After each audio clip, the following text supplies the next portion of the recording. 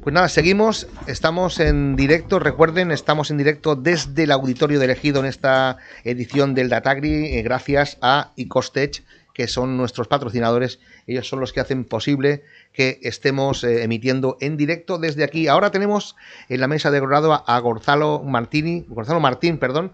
Eh, buenas tardes. Buenas tardes. ¿qué tal, ¿Cómo estás viendo esta primera toma de contacto con el Datagri en esta mañana? Eh, pues bueno, muy bien. Ya es la, quinta edición de Datagri, en esta ocasión elegido, muy centrado en, en el tipo de agricultura de, Almería, agricultura protegida, eh, de, intensiva. Y la verdad es que, bueno, cumpliendo los objetivos, ¿no? Yo tengo aquí la doble gorra de, de, formar parte de la asociación de Datagri y, por otro lado, eh, como, como, representante de una empresa de tecnología, Ispatec, además almeriense, o sea que encima hacer un Datagri y en, nuestra casa, pues es un, doble orgullo, ¿no? Y cumpliendo, como decía antes, los, los objetivos de este Datagri, que es acercar a todas las entidades, a todos los tipos diferentes de actores que tienen que impulsar la transformación digital. Los agricultores, las cooperativas, las administraciones públicas, eh, las empresas de, tecnología como, como Ispatec y otro tipo de empresas y la academia, las, las, universidades, los centros de investigación, que son los que al final pues tenemos la pelota caliente de eh, poder eh, desarrollar tecnología, hacerla asequible para los agricultores, que tenga un impacto real en, en, su vida, en sus cuentas de resultados, en, en esa triple sostenibilidad que, que, hablamos nosotros mucho en Datagri y en Spatec sobre ella, que es la sostenibilidad social para, para arraigar a los agricultores, a sus familias, al entorno, sostenibilidad económica, porque si no hay una sostenibilidad económica en toda esta cadena o red agroalimentaria eh, y en todos los nodos principalmente los agricultores, pues esto no vale para nada. Y luego, pues en esta sostenibilidad medioambiental, que es eh, pues el entorno que nos permite el agua que comentabais antes, eh, también pues eh, las huellas de carbono, etcétera, etcétera, que bueno, pues que al final como dependemos de, del clima de la Tierra para producir, pues, pues son medios que tenemos que, hacer sostenibles en el tiempo para alimentar a más con menos Um, que es el, los grandes objetivos que tenemos. Utilizando un símil futbolístico como estáis jugando en casa, esto se llama jugar en casa. eh, antes comentaba Isma Martínez que Ispatec y ella est estáis colaborando en, uh -huh. en muchos proyectos. Eh, ¿Nos puedes contar algo de lo que estáis colaborando con Isma? Bueno, pues uh, con, con Isma lo que intentamos, Isma tiene una posición que, que bueno, desde, desde, desde donde ella está, pues puede vehicular eh, los proyectos a un nivel que, bueno, que es inimaginable para, para, el resto de las entidades, con el grupo G7, los grupos de inteligencia artificial, y nosotros lo que hacemos un poco es, eh, bueno, pues no solo transmitir los casos que nosotros vemos de aplicación, que trabajamos nosotros directamente en inteligencia artificial, pues con las cooperativas, con los agricultores, tanto aquí en Almería o en toda la zona mediterránea, en España o en Latinoamérica, que es donde nosotros estamos, eh, sino también, al formar parte de Atagri, como te decía, con esa doble gorra, pues también hacer de correa transmisora. De medio centro, por seguir con el símil futbolístico, para hacerle llegar pues los balones de otras entidades que están trabajando en proyectos de inteligencia artificial, porque al final necesitamos un efecto pinza, necesitamos un efecto pinza en el sentido que las, esas personas que parece que están muy lejanas a nosotros y los, los, eh, poderes que mueven dinero, que mueven políticas, que mueven legislaciones, pues faciliten eh, la transformación digital y la aplicación de, de inteligencia artificial, pero eh, siempre con eh, esa mejora en el día a día, no solo en la producción de alimentos, sino en la calidad de vida de los agricultores y las agricultoras que, que no dejan de ser empresarios, lo primero, eh, en uno de los sectores más complicados que hay, el agroalimentario, y además en uno de los pocos que de verdad son esenciales y durante la pandemia lo vimos. Al final allí bueno, pues todo se quedó lo importante, ¿no? Es, eh, vamos a tener comida, vamos a tener, no se va a cortar la cadena de suministro. Poquita memoria tenemos. Efectivamente. Vino muy bien sí, sí. para poner en, su, en sitio su a quien haya que poner. Pero tan rápido como nos hemos quitado la mascarilla, Sí. se nos ha ido de la memoria. Esa frase, saldremos mejores de esta pandemia, aún me ruena en la cabeza y es verdad que algunos nos han enterado.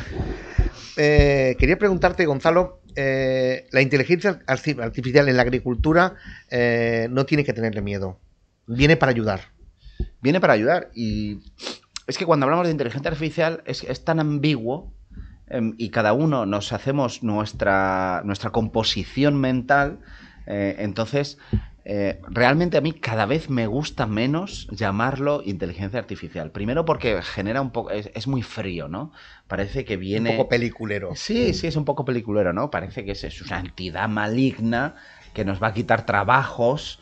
Em, y sin embargo, en otros sectores y en nuestra vida cotidiana, em, pues la usamos en miles de cosas, no sabemos que está ahí, es transparente, es ubicua y nos facilita la vida, ¿no? Pues cuando, yo qué sé, cuando cogemos eh, la aplicación de mapas para ir de un sitio a otro o... Que nos lleve la publicidad a donde vamos. Si nos lleve la publicidad a donde vamos. Eso es Pero, o, o, cuando estamos comprando online y, te recomienda productos, ¿no? En pequeñas cosas en nuestro día a día, eh, pues la hemos, la hemos integrado, ¿no? Yo pongo el, ejemplo de, mi abuela o de, de mi madre o de mi suegra, eh, pues eh, oye, tienen el, Alexa este, eh, le van diciendo la lista de la compra, ponen música y, al final hay mucha inteligencia artificial metida, pero ellas pues no saben ni lo que es, ni eso cómo funciona, pero tienen un rédito y un servicio. Y llevando esto al ámbito agroalimentario, creo que tenemos que pasar la fase de hablar de inteligencia artificial como,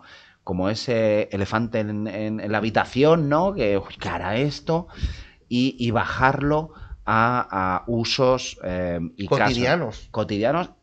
Y, hablaba con, mucha gente durante la Tagri. Estamos en el punto de demostrar la rentabilidad.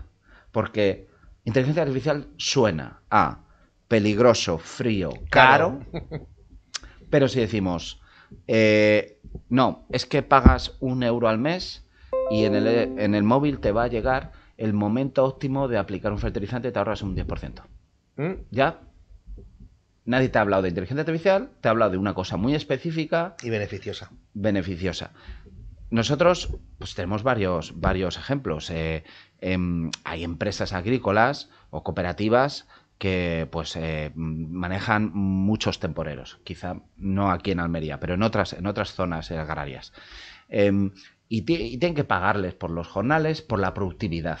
Dice, bueno, pero es que tengo un montón de gente aquí que va muy rápido, pero necesito medir. Pues oye, lo están haciendo con fotos. Hacen fotos, hacen fotos, todo el mundo sabe hacer una foto. Ahora con encima con lo de lo QR es un tema global. Oye, casi todo el mundo sabe hacer leer un QR, hacer una foto con el móvil. Y luego sigue una inteligencia artificial por ahí que analiza fotos y dice, pues este tres cajas ha recogido hoy, este cinco cajas. Y eso se va a la, a la nómina y se le paga una productividad es un caso sencillo de aplicación em, de inteligencia artificial y que no asusta de la gente. Ah, pues no tengo que estar ahí apuntando y estando atento em, y me es mucho más sencillo hacer foto cuando llega o que se me acerquen al teléfono móvil y, me pasa la, tarjetita y ya está. Y sé cuánto ha recolectado mis jornaleros y, les puedo pagar por función del trabajo, del trabajo, que es que es un ahorro de costes para el agricultor, porque, bueno, pues, eh, pues no te hay que pagar a todo lo mismo. Y la incentivación del, obrero que diga, si trabajo más, me cobraré más. Eso es. No sé, muchas cosas. Entonces, creo que tenemos que desmitificar, creo que si, no sé si puedo hacer, pero quitarle el nombre de alguna manera y hablar de casos y no hablar de inteligencia artificial. Al final es No verlo como un ente raro que está ahí, ¿no? ¿no? Es una cosa que está detrás, que es necesaria, pero es un poco no sé, yo, yo intento situarnos al inicio de Internet y era lo mismo, era, uff, qué, qué, qué, qué, frío, qué es esto. Em, ahora a nadie se le, se le pone, oye, oye, pues la preocupación cuando yo salgo de mi casa y me voy a otro país es si voy a tener eh, internet. Datos. Claro, si voy a tener datos. Y mi, la preocupación cuando eh, me mudo de casa eh, son, son los datos. Y mi hija de 5 años eh, pues su preocupación es que si está viendo un vídeo en el móvil es que entremos en un garaje, porque sabe que no hay internet. Eh, el otro día oí a un abuelo decirle a los nietos cuando me muera, voy a poner wifi en mi tumba para que vengáis saberme. Con eso te lo digo porque al final, pero al final hubo una época en que, en que era pues otro, otro, otro elefante ahí, no otro que, que no se comprendía, que no se veía la utilidad en cuanto como sociedad vimos, pues en el ámbito agroalimentario lo que pasa es que estamos en ese momento de cambio, que es siempre difícil, ¿no? Todos los cambios te sacuden, todos. Claro. Y entonces, eh, Pensemos, pensemos cosas tan curiosas como la CIA. La CIA hace 70, 80 años eh, tenía, eh, no había internet, evidentemente, había un programa, estaba la telefónica, el teléfono fijo. La CIA ya tenía 100 palabras prohibidas que si eh, tú llamabas a alguien y utilizabas la palabra bomba, atentado, comunismo, tal y cual, hace 70 años ya sabían quién eras, te investigaban con una línea telefónica, solo eso. Evidentemente, donde estamos ahora no tiene nada que ver yo, no quiero, saber lo que la CIA sabe ya, no quiero ni saberlo. Pero vamos por ahí, vamos por ese camino, quiero decir. Pero hay que tenerle poco miedo porque la tecnología y la inteligencia artificial es algo que, como tú decías, decías hace un momento, utilizamos sin darnos cuenta en montones de cosas de la vida cotidiana. Y además, se, ve muy claro cuando adoptamos eh, aplicaciones o funcionalidades, usos en nuestra vida cotidiana sin pensar si hay una inteligencia artificial detrás. Ese es el punto en el que necesitamos llegar ah, en el sector alimentario. Eh, llegar a la madurez de esos casos en donde no tenemos que hablar de inteligencia artificial. Tenemos que decir, oye, esta herramienta, esta funcionalidad, este modelo, lo que sea, te ayuda y te da esto. Ah, perfecto. Y nadie ha hablado de cómo funciona eso, cómo va detrás. ¿Funciona? Perfecto. ¿Lo cojo? ¿Rentable? Sí, me mejora la vida, me mejora el bolsillo ya está. Llegaremos a eso, seguro. Eh, Gonzalo Martín, gracias por pasar por a estos micrófonos de Agro Radio. muchas gracias por, por estar Agro Radio aquí, emitiendo en directo desde Atagri, ha sido un placer. Para nada, somos la eh, radio de la agricultura, tenemos que estar donde esté la agricultura. Pues el año que viene no podéis faltar el próximo ¿Dónde vamos el año que viene? Es que, mira, tengo aquí al jefe de prensa de Datagri y me está mirando, eh, me está lanzando cuchillos. Top secret, nada. Top secret. Pero donde estemos, ahí estaremos. Muy bien, nos veremos. Gracias. Gracias a ti. Pues nada, señores, eh, ya saben que seguimos en directo aquí en el set de Agroradio, que estamos en el auditorio de Elegido hablando de inteligencia artificial. Eh, volvemos en un momento, devolvemos conexión.